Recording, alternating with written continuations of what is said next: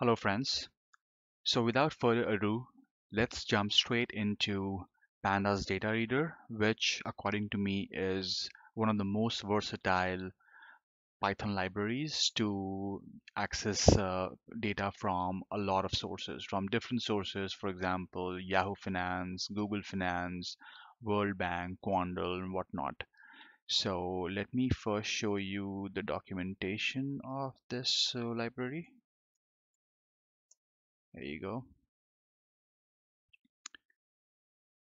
so uh, this uh, documentation, like uh, a lot of uh, documentation for other Python libraries, is fairly uh, descriptive and it tells you about um, how to install it, the usage, the requirements. Uh, you should be able to meet the requirements of installation if you have Anaconda. Most of you will have no problem in that and also it gives you the list of uh, the sources from which it can help you get the financial data from. So you can see Google Finance, um, Fred, Quandl, World Bank, whatnot. Uh, as you can see, there is no Yahoo Finance here, and that's because uh, it, it is mentioned on the top that Yahoo Finance has made some changes in its API, which is causing some problem uh, using uh, Pandas data reader. However, I can assure you that uh, you can still access uh, Yahoo Finance data using Pandas data reader, and that's exactly what I'm going to show you in this video. Uh, but in the meantime, let me just show you, for example, in Google Finance, how to extract uh, data from Google Finance and they explain how to go about doing it. So any source that you want to extract data from, you just click into that documentation for that particular source and it will give you a sample script of how to extract data. Okay, first let me tell you how to install it. So uh, as you can see, it's fairly straightforward using pip. Pip install pandas data reader and you can install it uh, from your Spyder IDE directly. All you have to do is put an exclamation mark uh, in front of this command and then just uh, run it. I am not going to run it because I already have pandas data reader installed, but um, uh, if you want to give it a try, go for it just put an exclamation mark and then pip install whichever library you want to install and then just run it and you should be able to have it in your Python okay? So let me show you how to uh, do it um, let me show you a sample data extraction. So we first uh, import the libraries.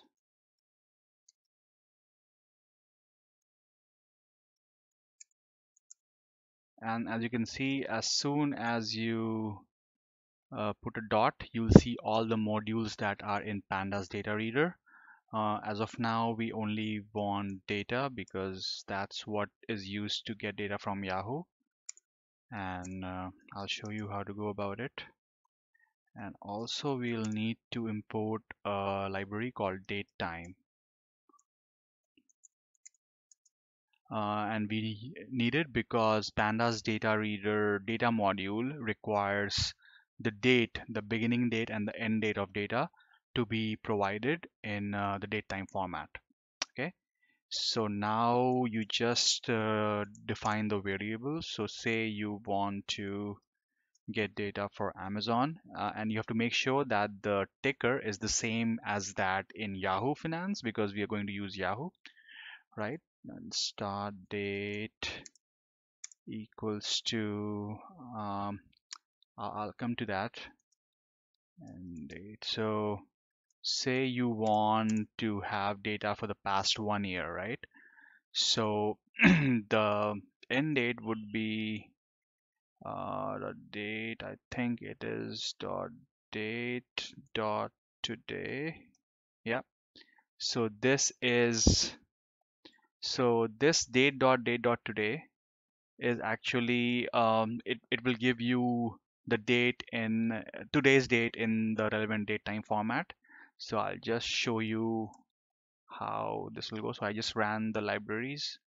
And then if you run this you see here uh, it's today's date 24th Feb 2019, and this is the format that that uh, you get this date in, and this is uh, the, the format that pandas data reader data module requires you to supply dates in so we'll have to go uh, we'll have to use the datetime format.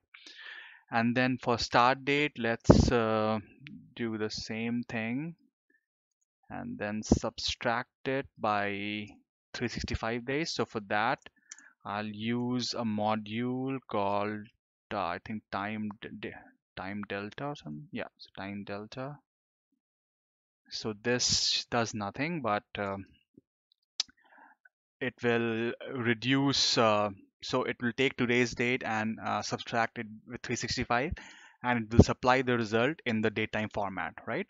So you have pretty much all the variables that you need to extract data uh, for for Amazon for the past one year. So now let's see how to do it. So data PDR dot uh, get data Yahoo is what we are looking is what we want. So get data Yahoo. So you can see different uh, different uh, uh, like you know functions uh, which you can use to get data from different sources. And I have tried get data Google, Quandl, Yahoo, and all of them have been working so far. So you may want to give it a try.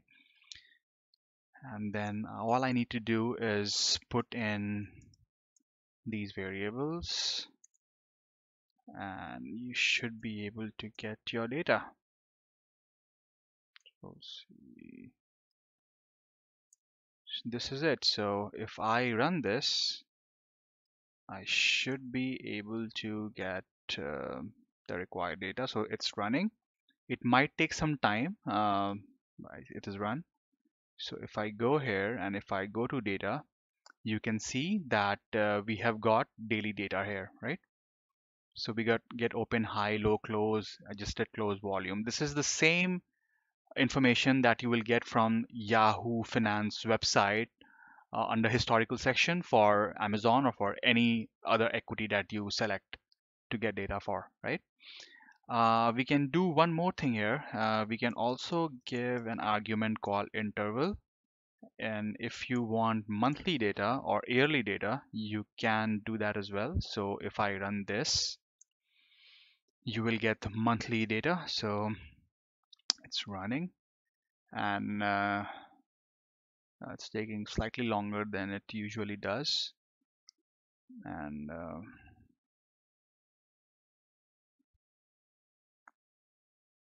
okay so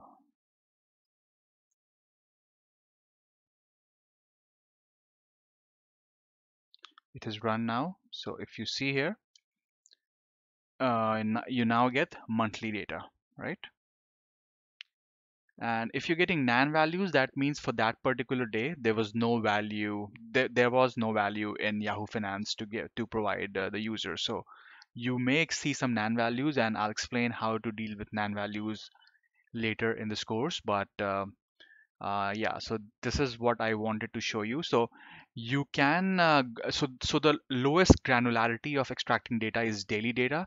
You cannot get intraday data using um, using pandas data reader because most of the sources that it gets data from for example yahoo google etc they provide daily data. So that's the lowest granularity that you can go up to.